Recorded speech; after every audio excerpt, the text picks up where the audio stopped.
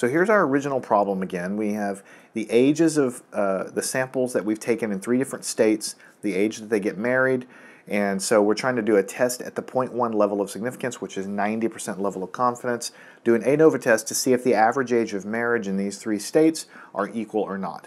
So we're going to use everything that we've done up to this point and teach you how to create the test statistic and the, the, uh, the rejection region in order to figure out if this is a rejection or, or not of the null hypothesis. So let's write a few things down. The first thing is we're going to recall that the null hypothesis, right, is uh, that the population mean of uh, population number one is the same as population two is the same as the population three. So these would be the age of marriage for all women in New York, all women in Texas, all women in Oregon. We're saying that the means of these guys are the same. That's the null hypothesis. And the alternate hypothesis, uh, you just usually write it out in words, at least uh, one mean different from the others. So I'm going to write it as at least one mean difference. So we don't know which one, or it could be more than one that are significantly different. And also don't forget you can have uh, you know 15, 20, 30 populations if your if your test does. If your test set is lends itself to that. We're just doing three of them to teach you how to do it. So notice here that we have a 0.1 level of significance, so we'll need to use the correct table for that. And before we actually get into the table, we need to write down what the rejection region looks like for an ANOVA test. Now the good news is it's pretty easy.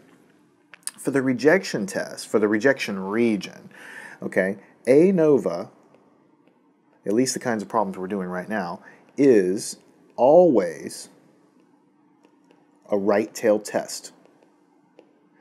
Right tail test.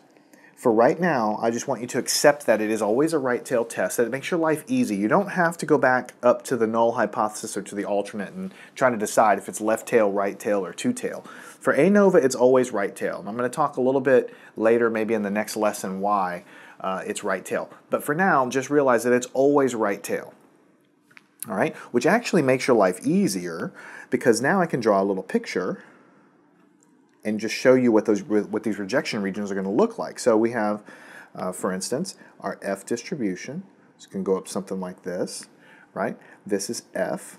And there's going to be some critical value that's going to go up to here, and I'm going to shade it in a different region where everything to the right of this value has area alpha. That's what a right-hand test is. And so this critical value is F sub alpha. So that's the critical value we need. This is the hurdle that you have to jump over. If we get on the other side of it, then we'll be rejecting the null hypothesis. So the way we'll denote that is we'll say up until F alpha, if you get anything to the right of that, you reject the null hypothesis. And anything in this region, uh, I'm just going to do it like this. Do it like this. Fail to reject the null hypothesis. All right, so it's the same sort of thing we set up for all of these tests. All we have to do now for this problem is figure out what F alpha is.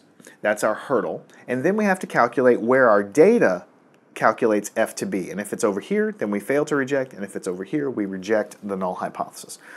So let's go down here and take it uh, one step at a time. All right, let's go to the next. Yeah, I think we'll do a little bit better if we go to the next slide. So let's go over here. Here I actually have the F table, uh, and we'll actually use that in just a second, uh, so don't, don't quite worry about that just yet. First, let's talk about the test statistic. Test statistic. Okay, and that is F. What is F? It's very simple. It's the MST, the mean of the sum of squares of treatments, divided by MSE, the mean uh, of, the, of the sum squares of errors. So you see, that's why I broke this problem into so many different sections, because one section we learn how to calculate this number, one section we learn how to calculate this number.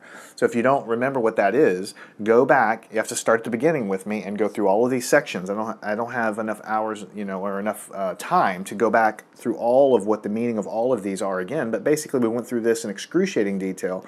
Same thing with this. But the top here is basically a measure of how different any of the sample means are compared to the grand mean. And the bottom one is a measure of the spread of the individual data sets inside the populations, essentially what it is.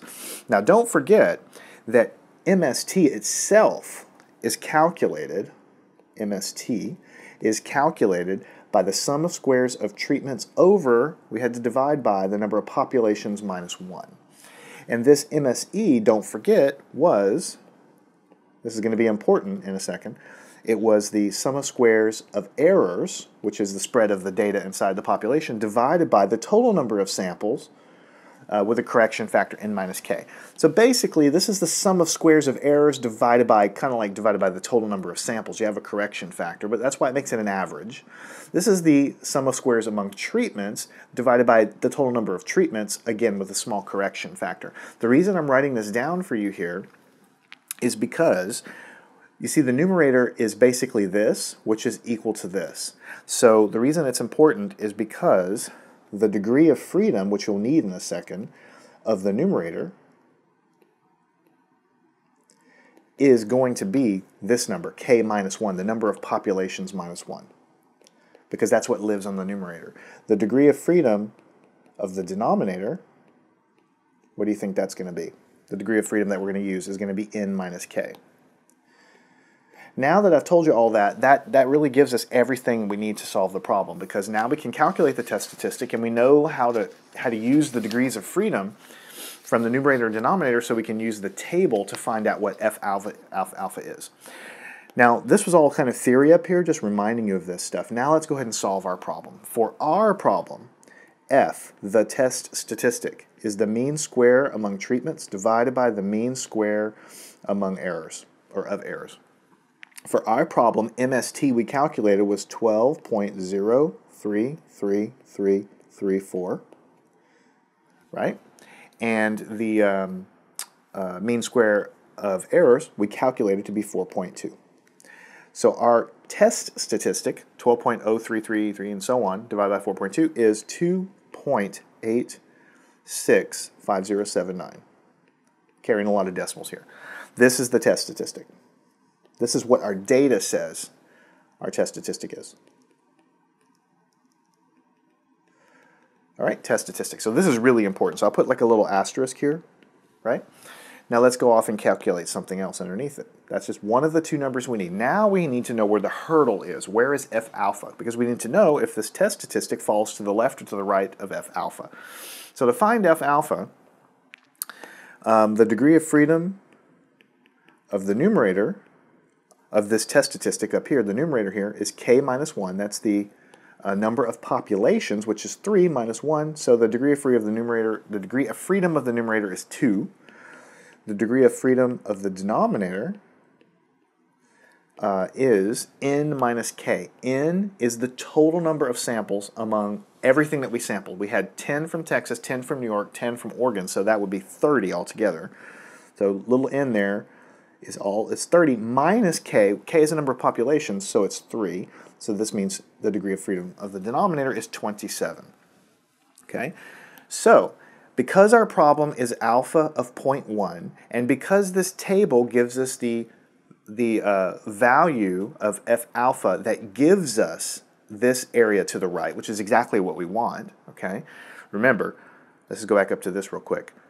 Basically, f alpha is the value of f that gives us an area of alpha to the right. And our problem is alpha is 0.1. So we use a table that gives us values where alpha, where the area is always 0.1 to the right. Now we just have to look uh, uh, across the top and the bottom. So we have a degree of freedom of the numerator of 2 and a degree of freedom of the denominator of 27. So we go down here and we run off the page.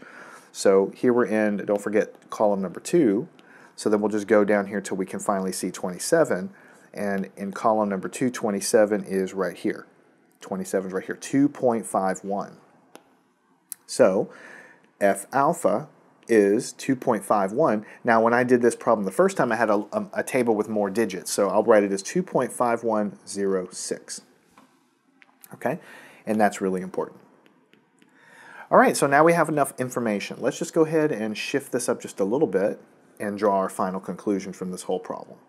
So what we have is an F distribution right? And what we figured out is that F sub alpha is 2.5106, right? And that is a shaded region to the right of alpha. But our test statistic from our data is actually 2.86, so that falls clearly to the right somewhere over here. I'll write it like this. F is 2.865079. So because it falls to the right, and we already drew the rejection regions before, we are clearly in the rejection region over here, so we reject the null hypothesis. And that's basically the answer. At this level of significance, we reject the null hypothesis. Now, what was the null hypothesis? The null hypothesis was basically, let's go back up way up to the top here. The null hypothesis was that all three of these populations from New York, Texas, and Oregon, that the average age of females that get married from all the females in New York, Texas, and Oregon, the null hypothesis was that they were all equal. So we want to test this, but we have to create a threshold for, for how confident we are in our answer. And our threshold was 90% level of confidence. So we want to test at 90% level of confidence, which is 0.1 level of significance, if this is actually true. So we sample 10 uh, women from each of those states, and we get the average value of their age, and we just want to see if within within that level of significance or level of confidence, if the if that implies that the population means for these states from these women getting married are all the same or not. So we go into a bunch of calculations in previous sections, ultimately leading to one thing and one thing only. We just need to calculate this test statistic. We need these two numbers to do it. So we get those two numbers, which we've calculated previously, and our test statistic falls clearly to the right of our hurdle that we need to jump over. Because our hurdle is basically telling us that if this number exists to, uh, to the right of F alpha, if our test statistic is to the right of F alpha, then the evidence is strong enough that they're different, that the null hypothesis is rejected. So you write down that you reject the null hypothesis, and the evidence supports that in those three states, the average age of women getting married is not the same. And it doesn't tell you, by the way, which state is different. It doesn't tell you that Oregon was different than the other two, or maybe there was two states that were different. It doesn't tell you anything about which state was different. It only tells you that they're not the same. And if you're going to go into details of which one's different, then you have additional analysis beyond the scope of an ANOVA test. The ANOVA test only tells you if you're rejecting that null hypothesis or not, and it does not tell you which one is different. You could have a, uh, you know, comparing 30 populations, um, and, and maybe your, your null hypothesis is that all 30 of them have the same average value, and if you reject that null hypothesis, it doesn't tell you which of the 30 are different. You have to go and, and look more, deep, more deeply at the data. And it's not so easy to figure out. If it were that easy, you would just look at the raw data and decide. But that's basically what it is. That's how you construct the ANOVA test. All of the work goes into finding these values, which we've done by hand, as, as you've seen in the last couple of sections. By hand, it's pretty tedious just because there's a lot of numbers and so on and so forth. So this is how you how you do it. We've we figured this out. I have a couple of things I want to, to teach you in the next section to wrap it up, and then we're going to go and use the computer to solve this problem and also other problems so that you can see how how easy it is and how to interpret the results from a computer. Learn anything at mathandscience.com.